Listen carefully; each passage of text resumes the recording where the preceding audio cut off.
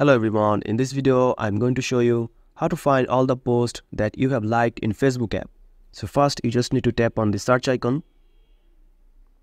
and then you need to go down and here you will find the option called your like post. So to get this option you need to update your Facebook app. Then just tap on your like post and here you will find all the posts that you have liked in Facebook. So that's it guys. If you found this video helpful, please subscribe to this channel and thank you for watching.